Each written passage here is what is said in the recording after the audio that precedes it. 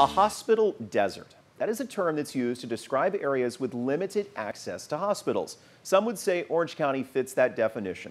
Orange County's gone without a hospital since 2015, but soon that will change. Construction crews have already started clearing the way for a new hospital. It's going to be part of the Gisela Hausman Medical Campus. And 12 News reporter James Grant joins us live now from the construction site. And James, county leaders say that this will be a game changer, right? Letitia Jordan, Judge Gothia says the new hospital with a convenient location right off the highway could be a life-saving addition.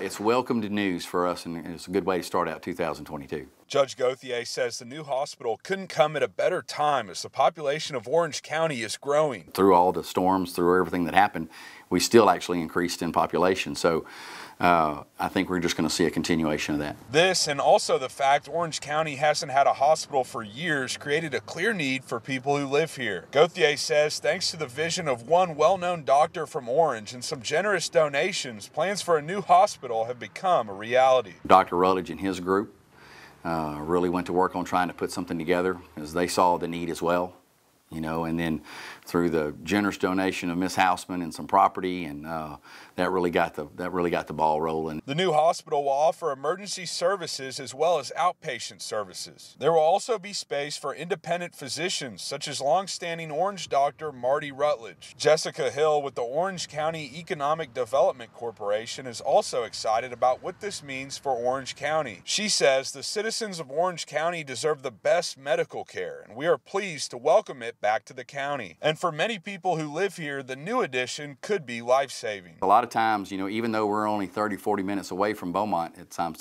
but sometimes that's life-saving minutes. And, and to be able to take that time frame, you know, considerably down to a 10-minute response to get somebody emergency services is a lot better.